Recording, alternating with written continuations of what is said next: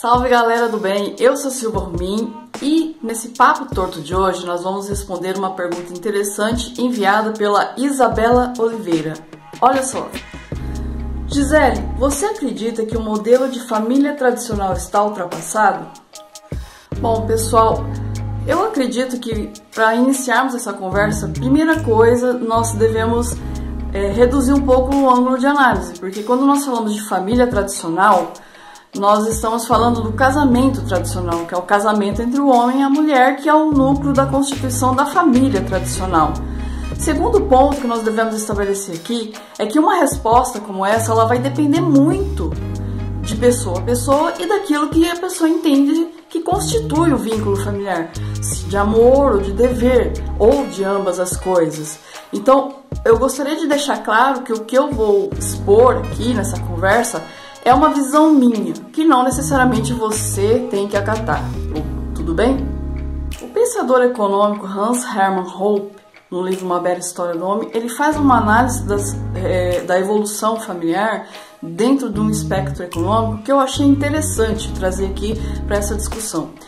É, nos primórdios da humanidade, quando os homens ainda viviam naquele sistema de caçadores e coletores, ele fala que não havia muito bem delimitação na questão familiar, porque não precisava ter delimitação de território, de propriedade.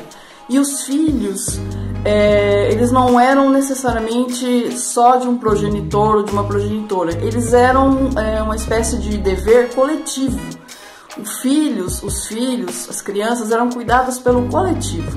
E que essa situação ela foi sendo alterada na medida que os recursos foram se tornando escassos e os limites foram sendo traçados, é, daí então surgindo a propriedade privada.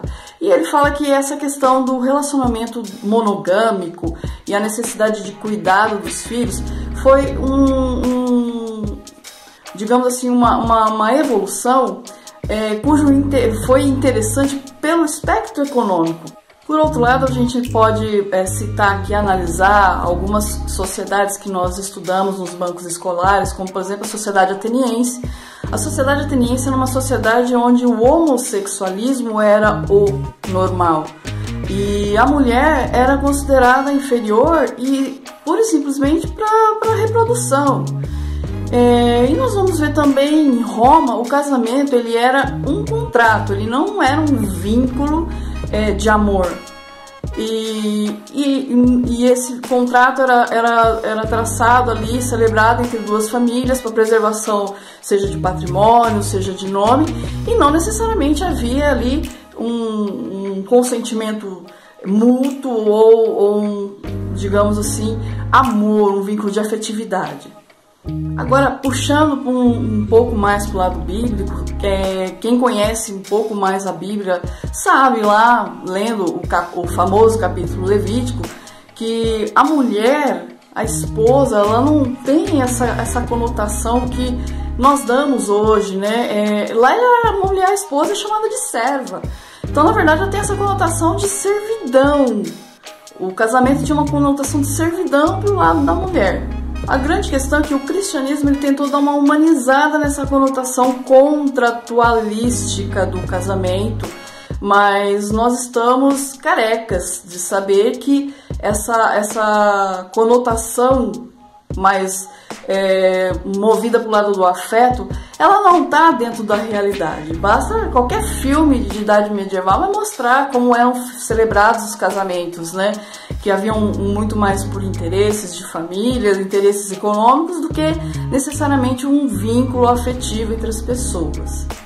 Podemos então afirmar que, ao longo da história humana, o casamento e a constituição da família, ela foi é, feita, ela era feita por finalidades outras que não fosse a afetividade. É, seja fins econômicos, seja fins de, de é, sei lá, é, manutenção de nome, de títulos, de status social. Então, gente, eu vou fazer uma afirmação que pode gerar um pouco de, de revolta em algumas pessoas, mas eu peço desculpas de antemão, é a minha visão, tá? Mas o, o, que, o que se discute hoje, ai, a família está sendo desintegrada. Não, Eu não acredito que a família seja, esteja sendo desintegrada. Eu acredito que o que esteja em vias de extinção, e ainda acredito que vai demorar muito, sejam os vínculos familiares estabelecidos com base em violência. Você concorda que de certa forma há uma violência nisso? Casamento, ele para constituir uma família, ele exige consentimento. Ou seja, as duas pessoas elas têm que dar o seu consentimento. Olha, eu quero me casar. Não sei por que fim, mas eu quero me casar, eu quero estar com essa pessoa. E a grande questão, gente, que aí vem o pulo do gato, é que para você dar consentimento, você tem que ter liberdade de escolha. Quando a pessoa, a sociedade, a família, a situação do planeta não te dá outra escolha, então você não tem consentimento. Você está sendo forçado por alguma situação. Então, sabe aquele, aquele filme maravilhoso que trata a idade medieval, onde tem príncipes e princesas que as famílias negociam para se casar? Tem consentimento dos nubentes, do homem, da mulher? Não tem. Então é um ato de violência, é uma família constituída com violência. Sabe aquela sua avó que não conseguia, sabe, que sofreu na mão do seu avô a vida inteira? Todo mundo conhece isso. Sabe, aquela vizinha, aquela avó que sofreu a vida inteira na mão de um homem que bebia, que batia nela, que não cuidava dos filhos tal, mas que não podia largar porque não tinha outra opção na vida que não estar presa a esse ciclo dentro de uma família repleta desse tipo de problema que todo mundo conhece. Então, isso é violência. Aí você pode dizer, Gisele, o meu pai e minha mãe, eles se amam, tá? Isso que você tá dizendo é besteira. Que bom para você. Amor, que bom para você. Você é uma exceção no planeta. Nós estamos analisando o que é geral, tá? O geral. E no geral, nós não estamos tão bem quanto os defensores da família tradicional acham que nós deveríamos estar. Porque essas pessoas elas acreditam piamente que esse modelo familiar ele está em extinção, quando na verdade a evolução dele ainda só está no início. E por que, que eu digo evolução? Porque no planeta ainda tem muita gente, mas muita gente que não está no relacionamento por, por, por escolha. Não está dentro de um vínculo familiar, dentro dessa constituição familiar por escolha. Está ali por motivos outros que não por afeto. Então, é, meio que já respondendo a pergunta da Isabela, eu diria que é o seguinte: não tem como sabermos se a, o modelo familiar ele está se desintegrando, Isabela. E eu vou te dizer por quê. A noção de casamento com consentimento mútuo, ela é muito recente na história humana. Ela é muito, muito recente. Se vocês olharem o, o papo torto anterior, eu citei uma tia-avó minha que ia fugir com uma mulher, porque provavelmente estava apaixonada por essa mulher, no momento em que meu avô tinha arranjado um casamento para ela. E isso é recente. Se formos analisar na história do mundo, é uma recente, é uma tia-avó minha.